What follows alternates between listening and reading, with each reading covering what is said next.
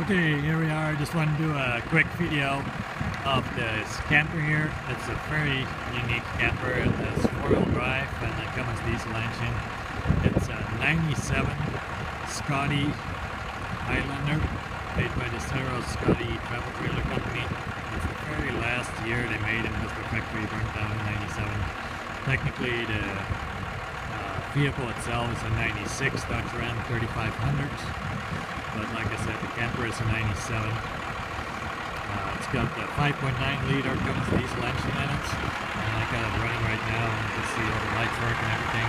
I'll open the hood real quick, and then uh, let's shut it off so you can hear better on the rest of the video.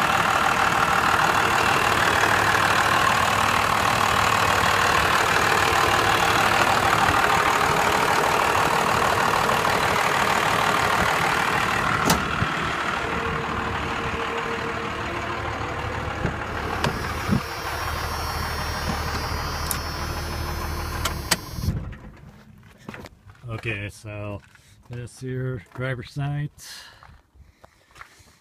Um, it definitely needs a new passenger seat. The previous owner had a dock and it really chewed up the seat. It had a seat cover on it originally, but I took it off so you can take have a better look at uh, the damage on that seat. Um, for the rest here, looks alright. It's an older truck, it's 21 years old, so could use a little cleaning for sure. But overall, it's a pretty cool camper. And to have a Cummins diesel and four-wheel drive, it's pretty unique. Uh, I've only made a few hundred of these. Um, and even fewer that were actually four-wheel drive and had a diesel. This one is 25 feet long, bumper to bumper. I'll, take a, I'll do a quick look around here and then uh, I'll inside. So it does have a little damage on the back here. Um, as you can see, this compartment right here and then the bumper. This is this is just fiberglass. The metal actually is all still intact. Nothing got damaged on the on the actual frame or anything. But fiberglass is hard to replace, so I haven't figured out how to fix that yet. I'm just gonna get rid of it uh, the way it is, but wanted to close that. Um, also, some of the windows are getting a little older. You can see here that the rubber is starting to come off, so it needs a little TLC, but then again, you're getting a very unique camper here. That's very few of these are made. The only thing that can even come close to this uh, is one of the EarthRoamers, and they they sell well over a hundred thousand dollars even for for a used one. So it'd be pretty hard to find a, a four-wheel drive diesel camper like this. I really like that it's pretty short, makes it easy to uh, park it and get into places that you can't with a bigger camper.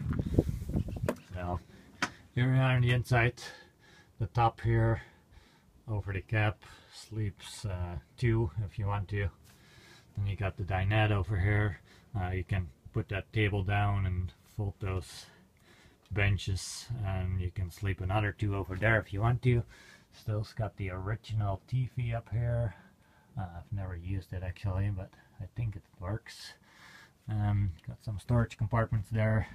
Got some storage over here.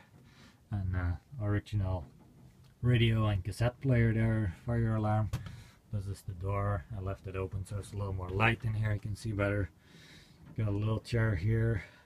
Uh, that one swings around actually. This right here, this part goes up if you want to, so you have more easy access to the cap and you can just walk in and out of there if you want to. Um, so here's the kitchen area. Got a little Wedgewood three burner stove it works good. The only issue is it's missing a little knob right there but you can get those in an RV store for pretty cheap. It's got the microwave on top here. Looks like it's never even been used because it's got the original sticker on it still. Looks pretty clean.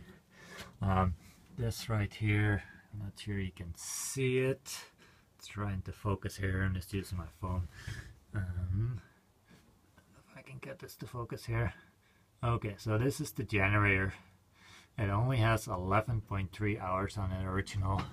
Um, the issue is the generator is that the uh, exhaust pipe broke off, so you can't actually use it right now, and I'm sure that needs a tune up before you can use it. But uh, uh, yeah, really low hours on it though. If you get it tuned up and get it running again, um, I didn't need a generator, so I've never used it. Um, you got a two-person sleeping area in the back here. You can see on the mattress. I would recommend replacing it. Um, it's got a hole in there as well from the from the dog. Um, so you got some storage compartments in here, up over there. Um, it's got skylights. There's one here, one in the front, and one uh, back in the bedroom. We'll get in a second. So this here is the kitchen, or uh, the fridge, I mean, in the, in the kitchen area here. And then this here is the bedroom. Um, it's got a little shower. I've winterized everything already, so it doesn't have water in it anymore in case you want to store it. And there's a toilet, little sink, little medicine cabinet there. And uh, yeah, that's about it. Sorry for the bad video quality, but uh, hopefully this will give you an idea of the camper. Um, definitely needs a little TLC, some cleaning. Uh, also on the couch here, you can see right in the corner there, done a few chunks bitten out of it. Um, it's been a long time since there was a dog in it, so it doesn't smell bad or anything, but does need a little bit of work. Um, yeah, that's it. If you're interested, let me know.